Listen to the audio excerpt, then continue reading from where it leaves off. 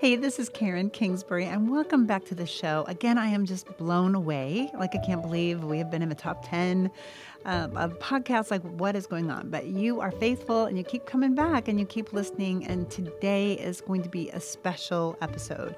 Now, I may have told you before, but like when I write, it is such an emotional experience for me. I feel like I am just the first reader, that God puts a story in my heart and it's like a movie in my heart. And so, no surprise that we have a movie coming out in just a week.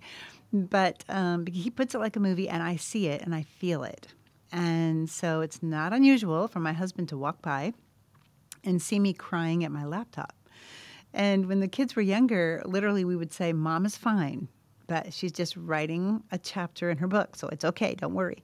And I would literally be like, sometimes sobbing, like a character dies and I'm just I'm a mess and I'm crying and I put my laptop down and I have to grieve the loss of that character. And then my husband's always like, you know, you killed her. Like, can't you just bring her back? Like, she he just doesn't quite get it.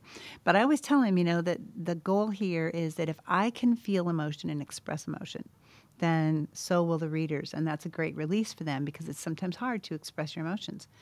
Um, last week, we talked to Shalene Bryan and we were having we had almost an entire episode about laughter and how important it is to laugh that people can take this life a little too seriously sometimes and amidst the dishes and deadlines and decisions that we need to remember to laugh. Well today on this very special episode um, number 13 we are going to be talking about every other kind of emotion. And my special guest today is tay lautner. And so not to be confused with taylor lautner the actor who is Tay Lautner's husband. Um, Tay and Taylor uh, are friends of mine that I got to know through Shalene. And they also were two of the first people to ever watch our movie that uh, my movie that's coming out called Someone Like You that opens in theaters everywhere on April 2nd. So it was super fun to have Tay and Taylor Lautner be able to to watch it and tell me how much they loved it. So we kind of partnered up, and I said, you know, let me help support your gala. So they had a big gala for their uh, Lemons Foundation, which we're going to talk about in just a few minutes. And I got the privilege of being able to support that and uh, really lean into what this young couple is doing for the mental health um, kind of landscape in our nation. It's it's tremendous the impact that they are making. So it is my privilege today to welcome to the show an incredible young woman who is making a difference in our country and our world. And I'm so proud to have her on the show, Tay Lautner. Aw, hey. that was so sweet. Thank you so much for having me.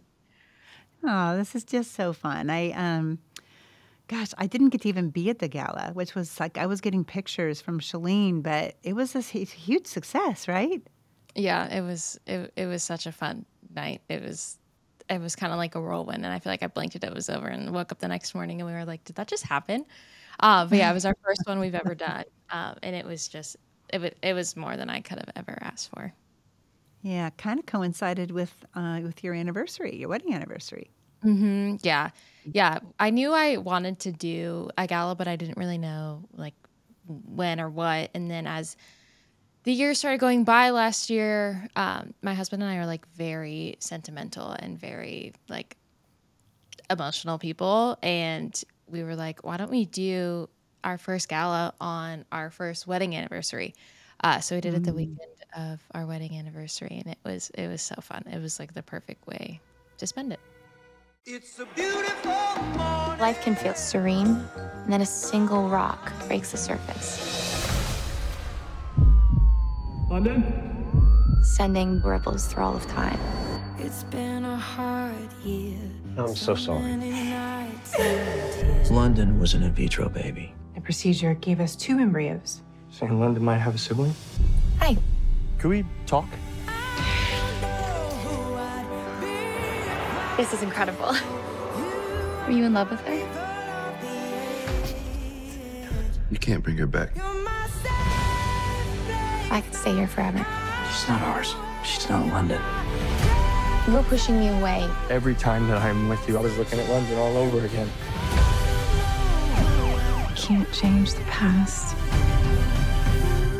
She always wanted me to find someone like you.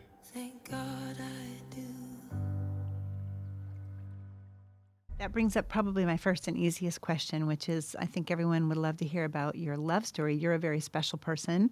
And obviously, your husband Taylor is a special one as well because he recognized that in you. And uh, he could see a one in a million, you know, diamond of a girl in your heart, how beautiful it is. And so, can you just tell us? I'm sure you've told it before, but we would love to hear about your love story, how you met, and how it became what it is. Yeah. Um, so we actually met through his sister. Uh, she uh, ended up going to college with one of my like lifelong like sister closest friends, and they became friends. I ended up becoming roommates, but I had gone to visit my friend. Uh, she went to Belmont. They both went to Belmont. I had gone out to Nashville to visit my friend for her birthday, and met Makena, Taylor's sister, uh, for the first time then. And then that was probably about August. And then fast forward to December, um, they had come home for Christmas break, and my friend Alexa was like, let's do a girls' night. And Makena was there. And after that night, Makena ended up calling Taylor and was like, You need to have a game night at your house. I met this girl. I want you to meet her. Uh, and then I had I had no clue there was like a setup or anything going on because I had only met Makena. That was my second time meeting Makena. Uh, so I get a text from her a couple days later inviting Alexa and I over to this game night. And so we were like, wait, that sounds so fun. Let's go do it. And it took quite a few hangs to realize that Taylor was like pursuing me because I was just like not I I did I didn't think anything was going on. I wasn't like assuming anything. I was just there to play games and get the job done.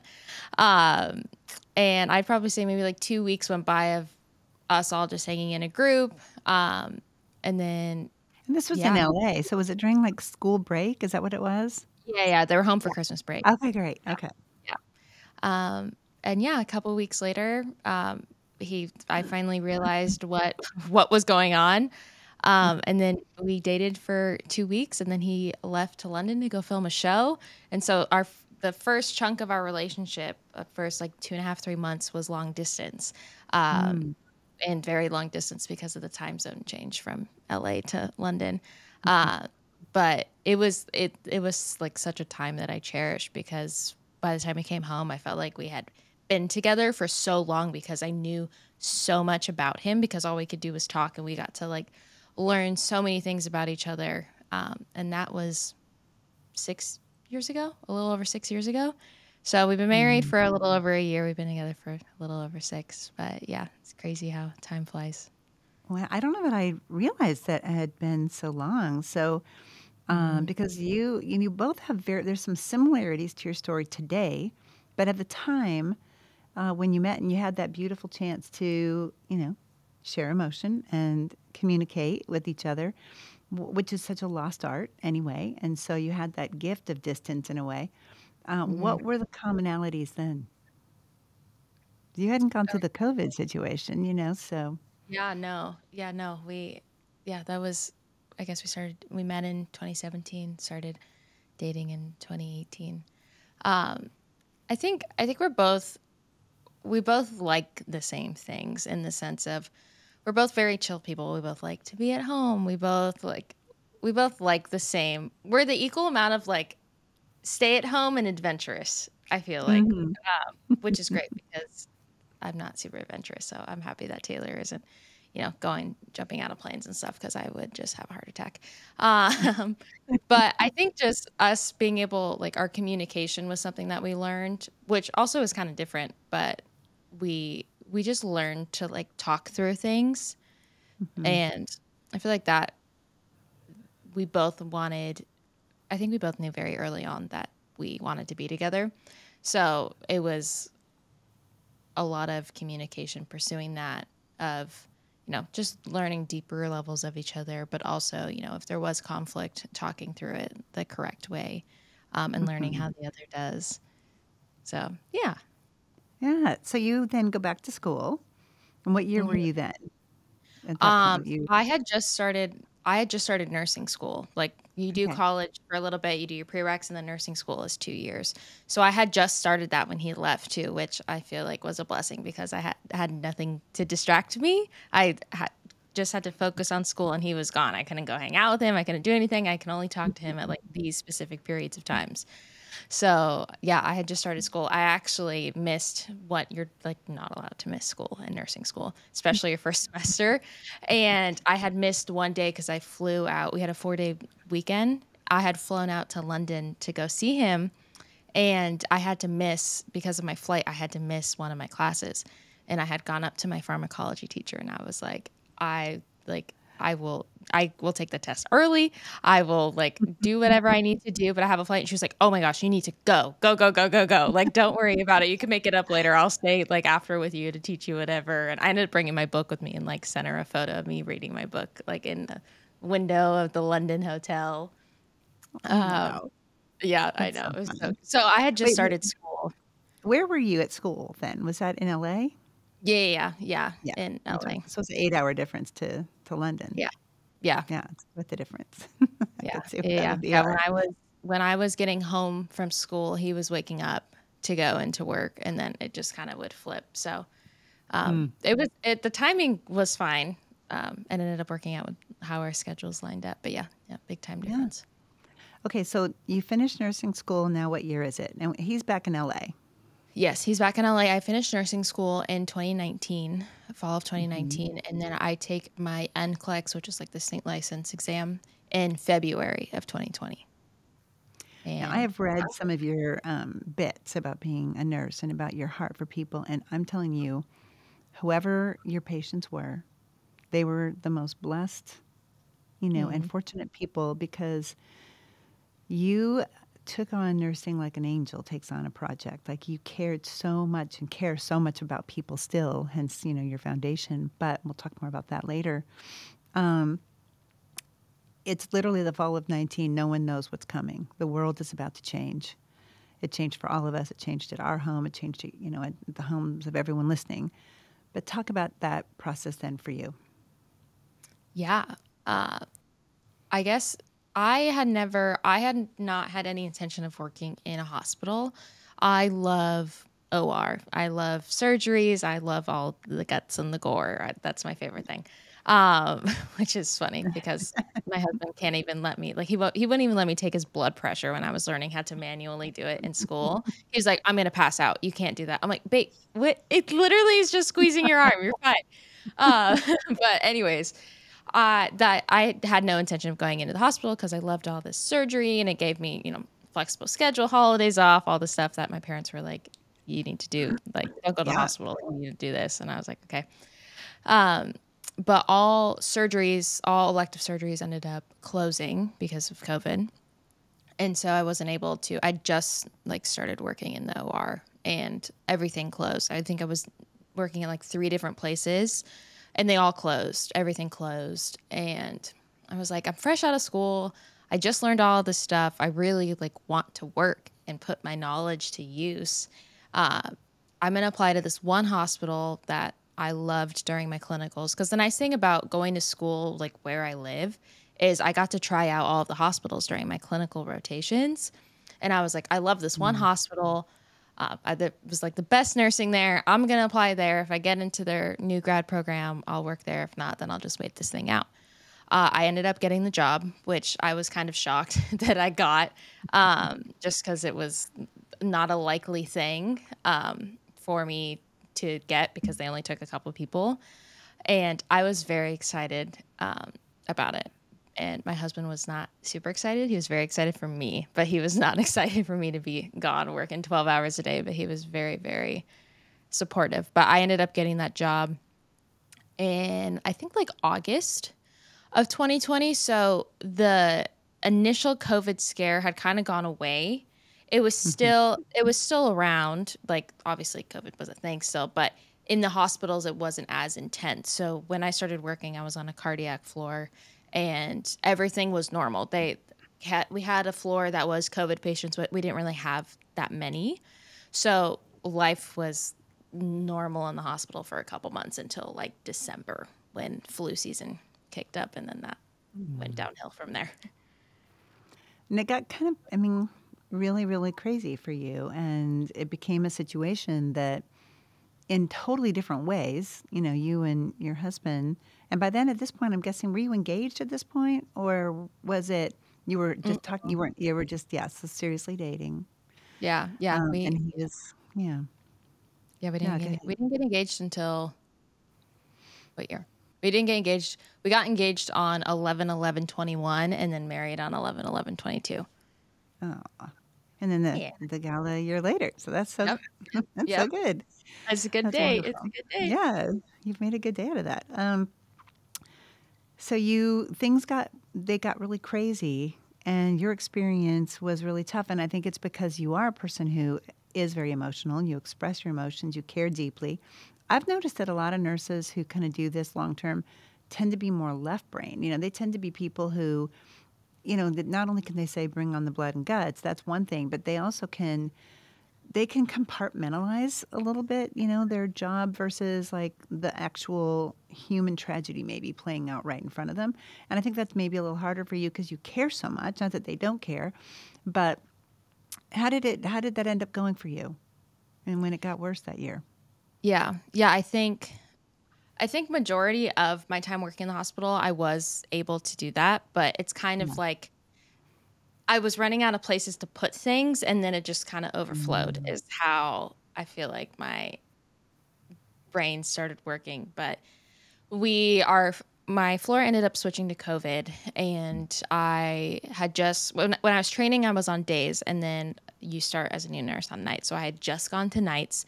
It was my first night on my own was the night we switched to covid and um, we had upped our patient ratios. So normally safe patient nurse patient patient ratios is four to one on my floor we had five patients and the acuity level of them was just higher than I had been taught or what we technically were allowed to have.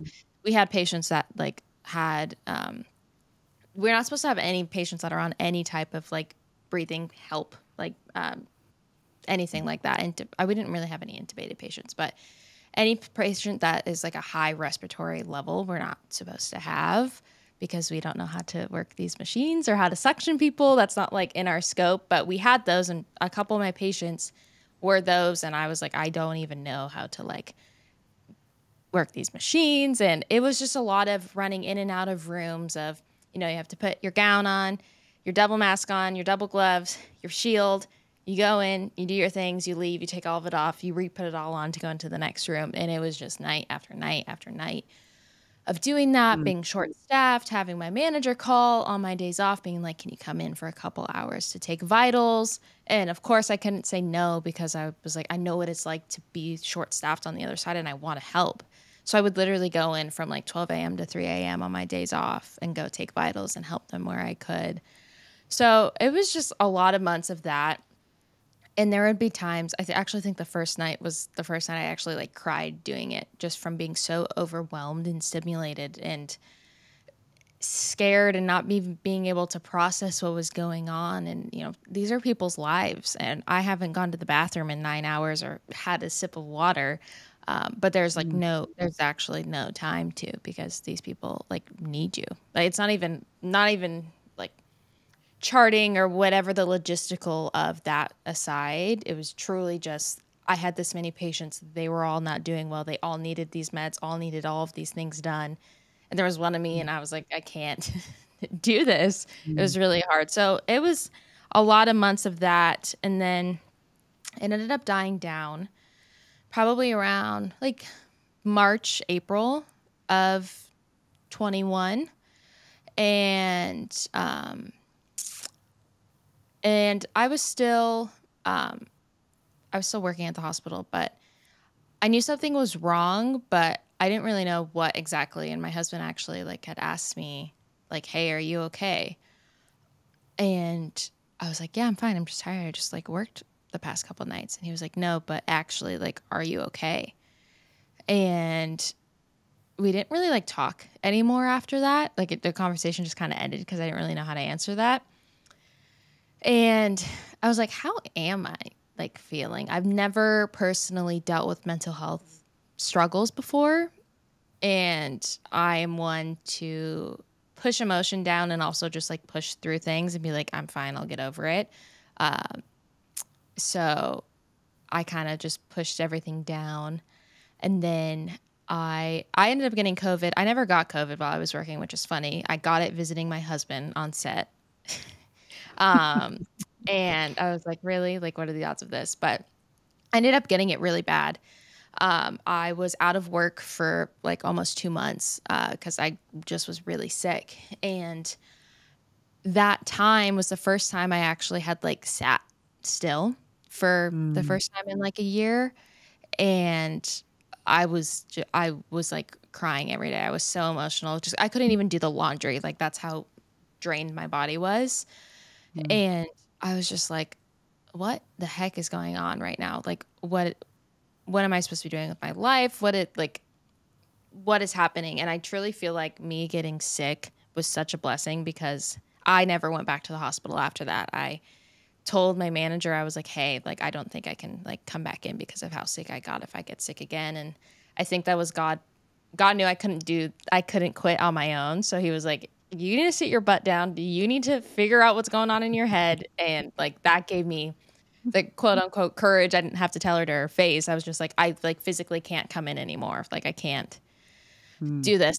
And then that that is what started my whole mental health journey process. Um, kind of kind of everything, which is funny because you would think in that moment of the really hard time working through COVID that that would have been the hard part, but it actually wasn't until I removed myself from the situation that it just kind of mm-hmm. all flooded.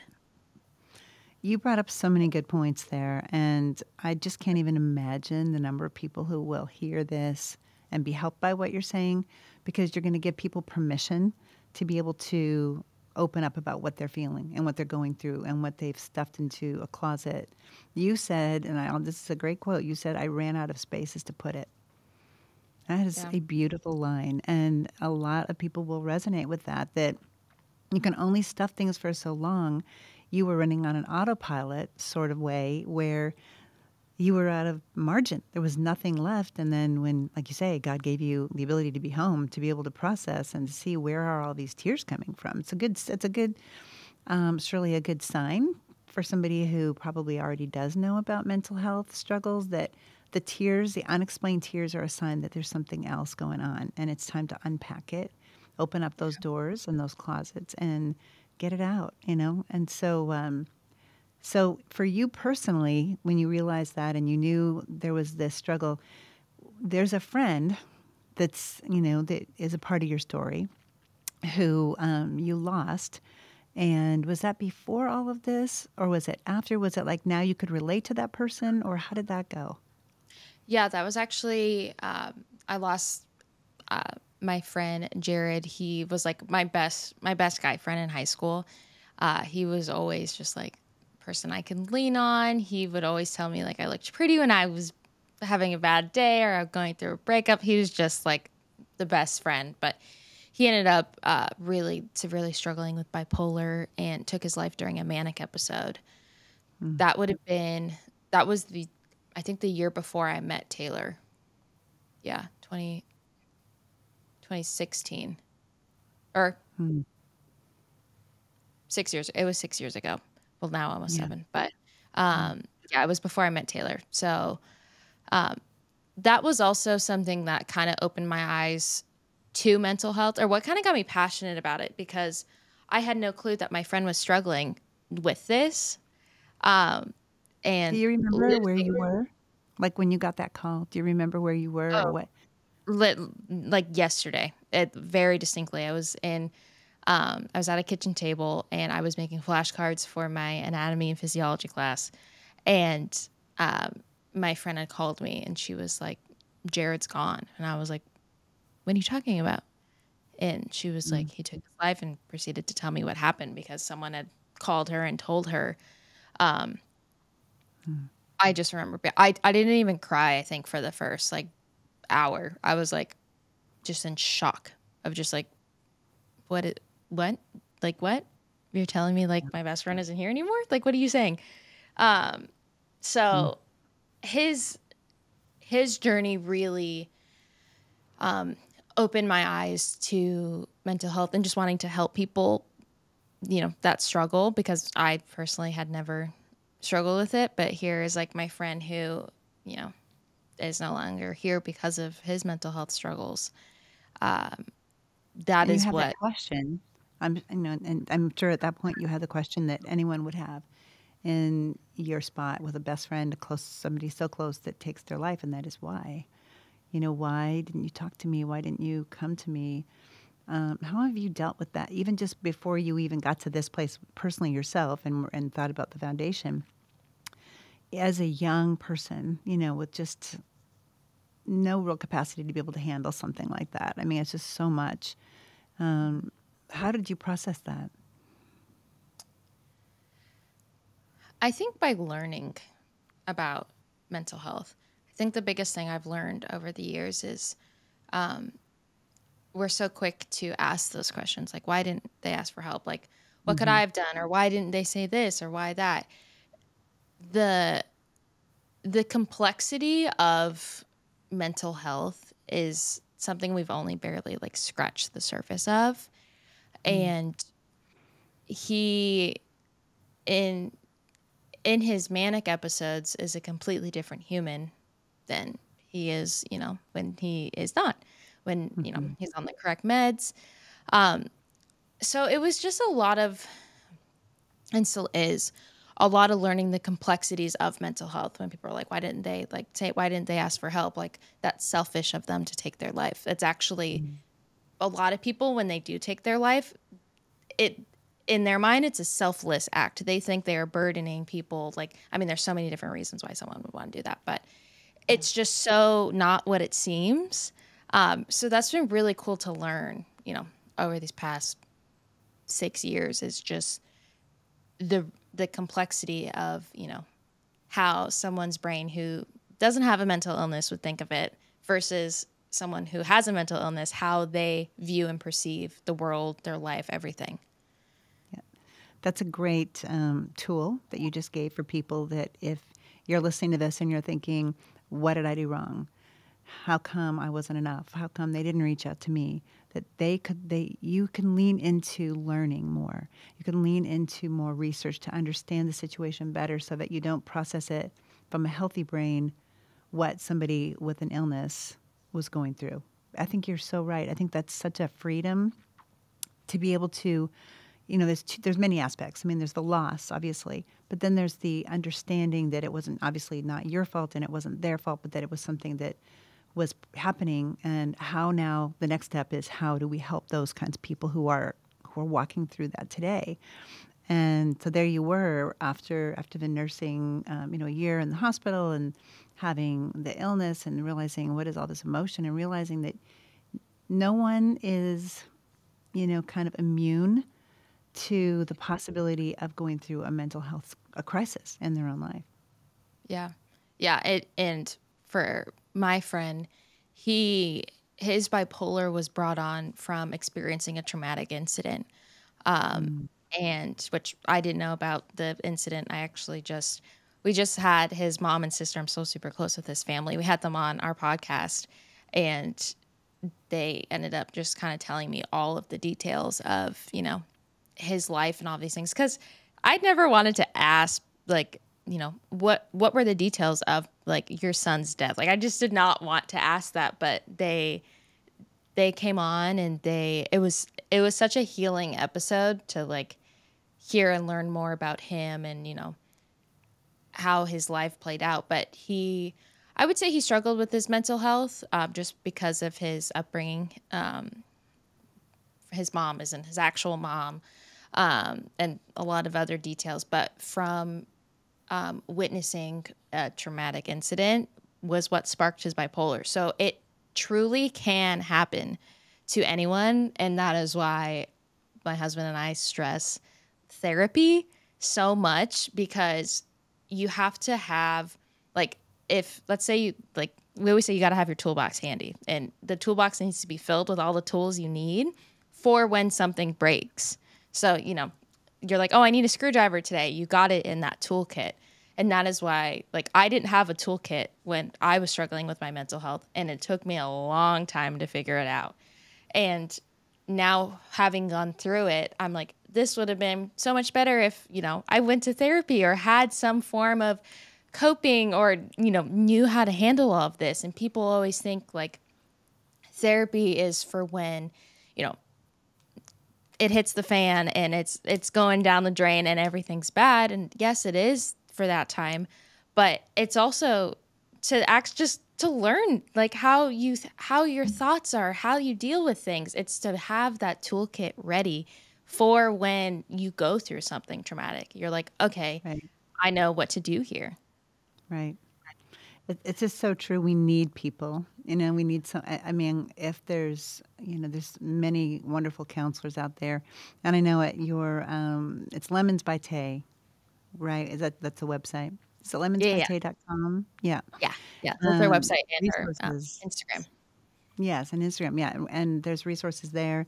You know, we have everything from the Living Word of God for people who are believers to you know Christian counselors to secular counselors to you know that good friend. And and the the key here is to express it.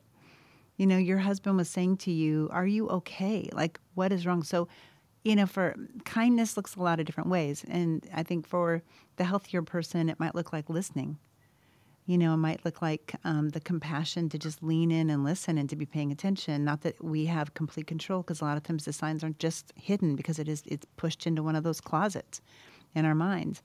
But then for the person who's struggling and feeling like, why am I? I can't process. Like my brain doesn't feel like it's working right, or even like you said, just to learn about behaviors. Like, you know, why do I do this thing I don't want to do? Why do I get angry at that? Or how come I?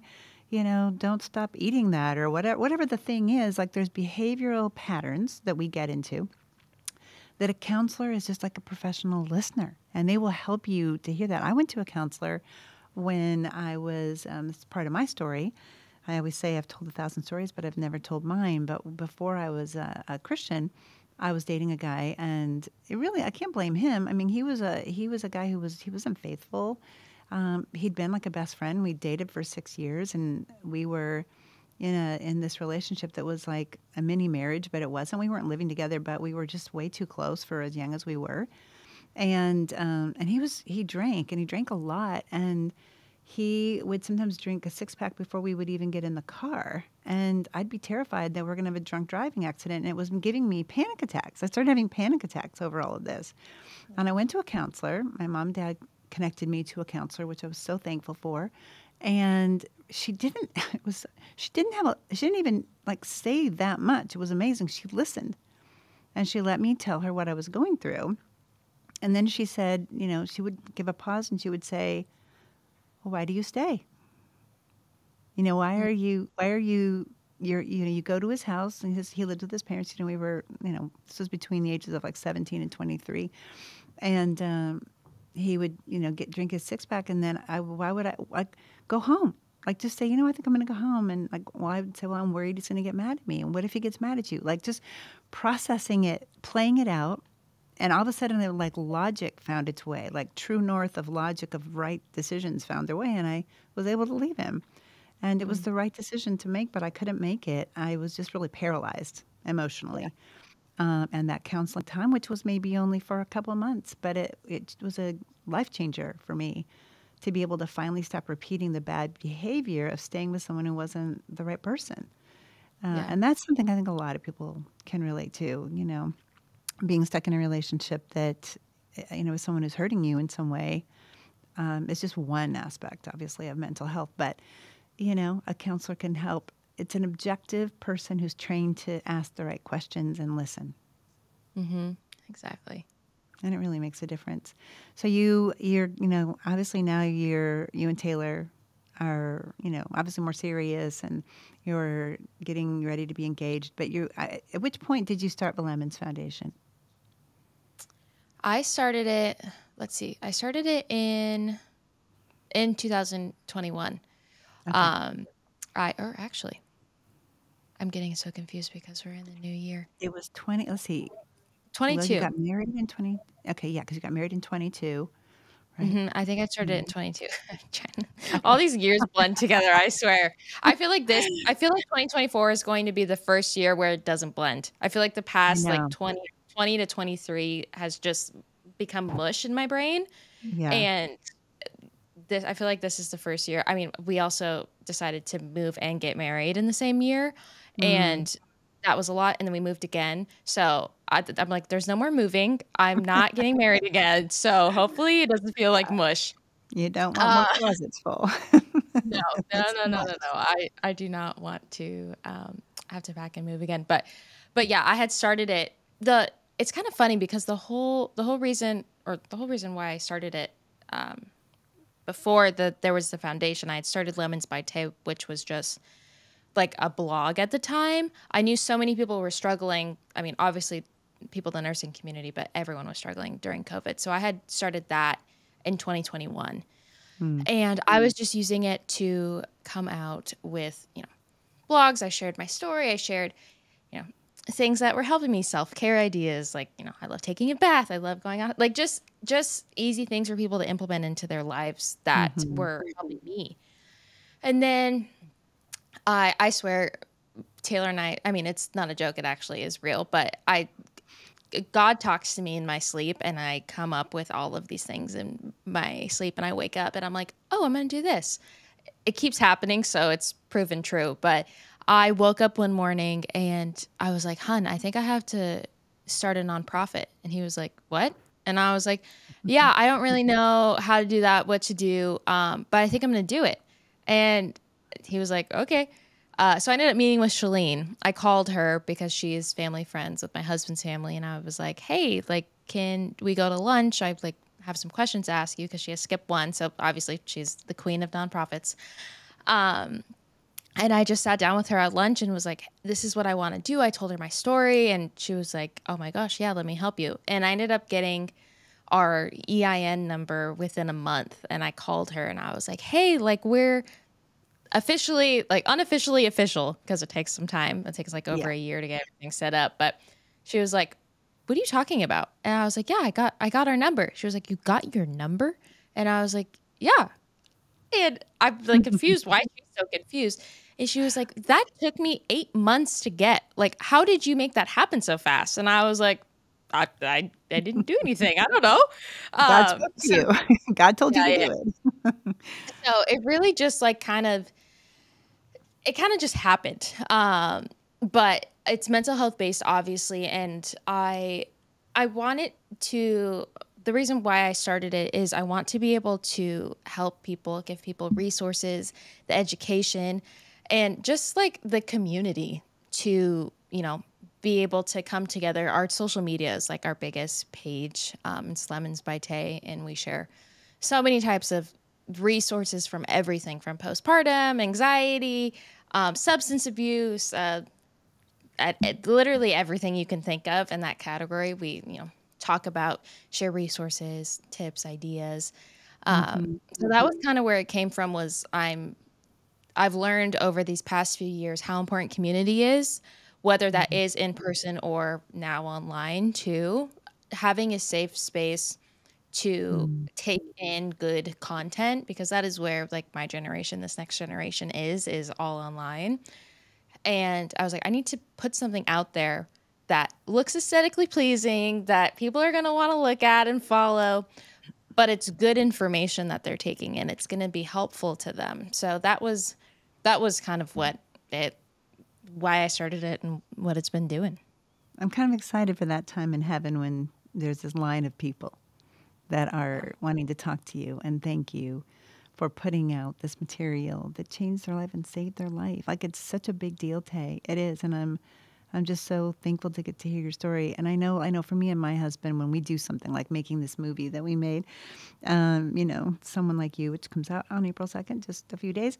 But when we did that, we had to come together for it. And I know that it was important for you and Taylor to be for him to believe in this and be a part of it and he believed in it for a very personal reason i don't know if you're able to share that but i would love to hear you know how that conversation went when you realized some of the stuff he went through because of his visibility Yeah. I mean, obviously, he essentially grew up in the spotlight. He did his first movie, I think, when he was 12. So, and went into the industry at eight. So, he was very privy to the world of that at a very young age. Twilight ended up coming out, I think he booked it when he was 16. Uh, so he was very young. A lot, a lot of people don't know that he was so young. I mean, I didn't know that until Yeah, I really didn't I started I think I thought he was like 19 or something. Yeah. Mm-mm. No, Wow. he filmed it from he filmed it from 16 to 20, I think, Wow. years old. Yeah. So he was I mean, he was young. He's probably 17, 18 when the first, second, third movies came out and the amount of just the amount of exposure, the amount of criticism, the amount of I mean, literally everything you can think of. Thank God social media wasn't, he always says, like, social media wasn't really a thing then, at, like it is now. And he's like, I can't imagine what that would have been like, you know, then. Um, but he just went through years of that and was just always, just always in the spotlight and being criticized and, you know, wanting to do the right thing, scared he was gonna, you know, say the wrong thing. It almost like came robotic, like in the way he would answer questions on a carpet or whatever. He was like, "How is this gonna sound?" Like, like media trained robot, like to a T. Um, but then on top of that, like he he would never like want to leave his house. I think uh, when we first started dating was kind of the first time he'd ever really gone to the grocery store or like gone to a movie theater because he never was like able to experience that. Um, It would be that So- kind of reaction because he would be so visible.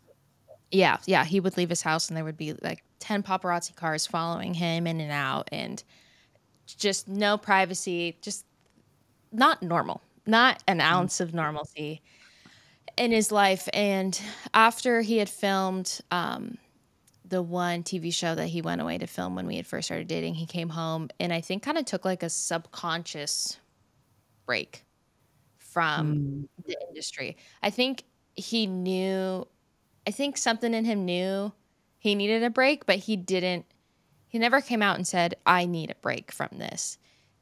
He just kind of like stopped doing things. Um, and then COVID happened, and then that was more so of a like a chill time for him. He did like one movie, but it was an Adam Sandler production movie, so it was like fun with a bunch of his friends. So he doesn't really count that as work, but um, he really just took some time to kind of process. He never processed like what he had gone through, or you know, um, dealing with body image stuff and just all of these things that have come with fame over you know the span of his lifetime. He never kind of took a step back and thought about it, um, or even just experienced normalcy.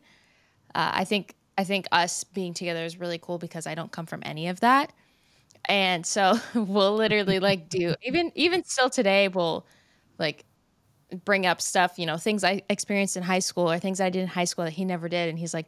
That's weird. I would never let like our kids do that. I'm like, what are you talking about? That's so normal. That's what you do. And like just things like that because our upbringings in a sense were so different. But I'm so thankful because he is like I always say he's the worst famous person because he's so normal. Like if you didn't know who he was, you would have no clue. Um, and I'm very thankful for you know his parents for raising him like that. But also he's just he's just got such a good head on his shoulders, and I'm. It's been really cool to watch him over these six years of us being together.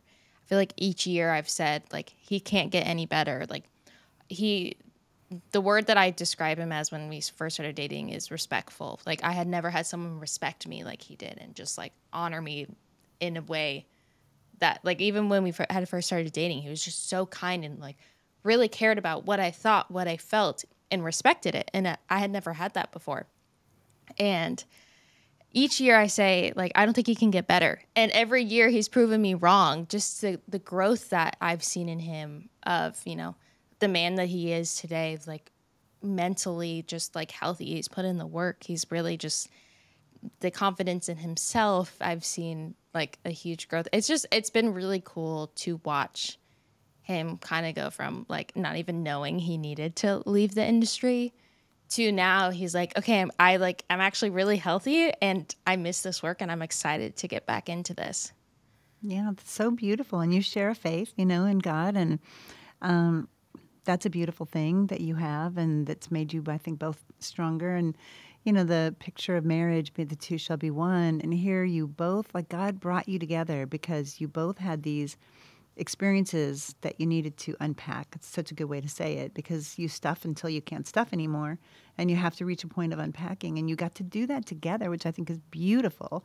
And for the people married who are listening, you know, lean into that spouse. Or maybe if you don't have that sense of communication now, maybe try to find it make more room for it make the space for it like you said that's part of self-care is you know, I feel like self care is is very much a biblical thing in the sense of leaning into what God has right in front of you. But if you don't stop to look at the mountains and the hills where your help comes from, or to breathe and feel the breeze in your hair, or even just to look at your spouse, you know, you you look at each other during your vows, and then as soon as the vows are over, you turn and face the world, you know, the, the, people there for your wedding, and it's sometimes like we forget to turn back and look at each other. And you have done that. You too have done that. And the first, the most one of the most beautiful things to come of that is the Lemons Foundation.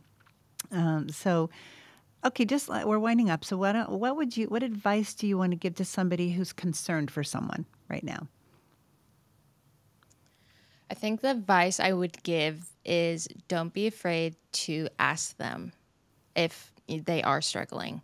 Um, something I have learned is the biggest thing about you know someone who may be suicidal or even if they're not to that extent but someone that may be we it's become this thing that um, a myth that if you ask someone if they're suicidal it will implant the idea of that into their mind. That is absolutely false. Um, very scientifically proven it actually does the opposite and if someone is struggling and you confront them and say, "Hey, I'm worried about you. Are you like are you thinking about taking your life? Are you struggling with this? Whatever it may be, it doesn't need to be that extent." The person hearing it will either be like at this point where they have nothing left to do but be like, "Yes, I am," or they're going to hear you say that and be like, maybe they're not ready to talk about it yet, or maybe that's what you say. Maybe it's, "Hey, we don't need to talk about this yet if you're not ready, but like I'm here if you're struggling and you need someone to talk to.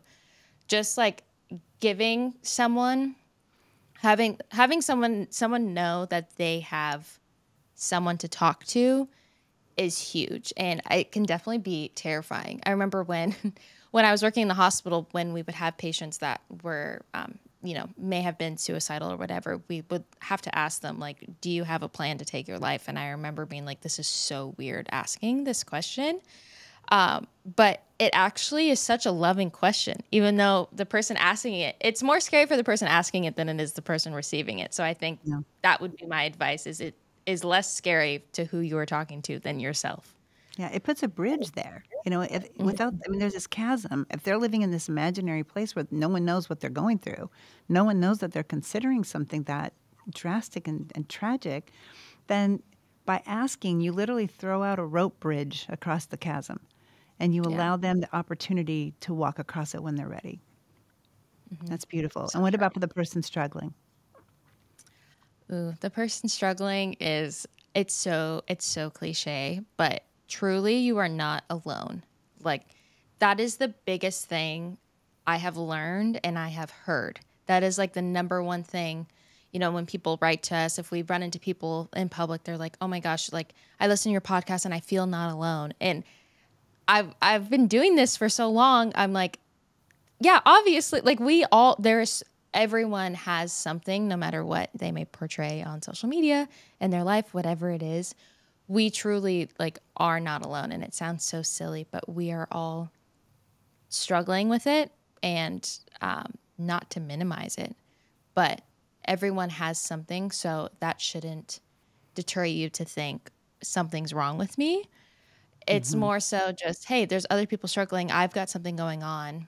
And just encourage, I mean, I would encourage whoever is listening to take that next step and help, whether it's talking to a friend, a therapist, whether it's reading a book, reading a blog, go listen listening to a mental health podcast, listening to an audiobook, whatever it is to make you kind of feel more comfortable about the idea. Um, I love um, I've talked about this before, but I love I love this idea of um, obviously prayer is like the biggest thing and you know God can do miracles.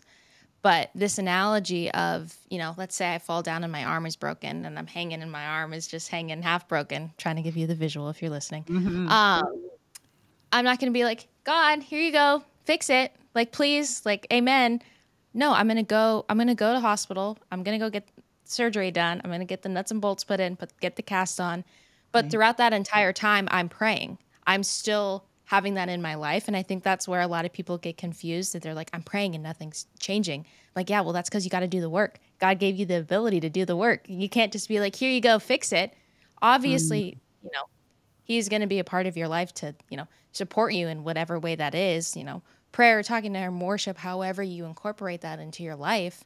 But you got two legs. We, we got to do the work and it's scary. But I think hearing that analogy, I heard that from someone and I was like, that's so like that's so real and it's so true and like god gave us this ability to you know have communication with people be able to do things for our own lift weights like go out on a run like we have these bodies that can do all of these things and that's just something that he's going to support us along the way doing That's beautiful. I had chills when you were saying that. Just um, we have to do the work. There's no question.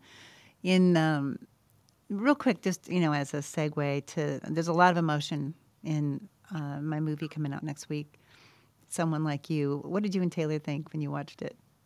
oh my gosh I, i'm actually really excited to watch it again because we haven't seen it since you sent it to us a while ago Now it's Um, good. We have a score now. I know. Oh my gosh. Did you hear it with the actual audio? No, just kidding. Um, no, I I mean it's it's such a it's such a heartwarming story. And it's so it's really cool that it brings in like actual real life scenarios of struggling. And i mean i almost said some things i don't want to give it away but it brings in true mental health struggles and situations that people on the daily deal with. And you know watching these characters develop through that i think is really cool what you've done in your book. And it's really cool to watch it come to life Well, thank you so much. You know, I want to, people to be able to find you. I want them to find your podcast. So uh, tell us where we can find that. I'm going to link it in the show notes. I also want I want to make sure that everyone knows that the suicide hotline number will be in the show notes as well as um, some other counseling links. So we're going to provide that. But how can they reach you? That's awesome. Um, I am on Instagram at Tay Lautner. Um, there's also the Squeeze Podcast or the Squeeze Podcast, wherever you listen to it Apple, Spotify, YouTube. Uh, we're also on Instagram at there. Lemons by Tay is our mental health page. Also, lemonsbytay.com. We have all of our resources there as well. Uh, I got like a link in my bio to shortcut all of that if you if you need it. There's a lot of different places to click.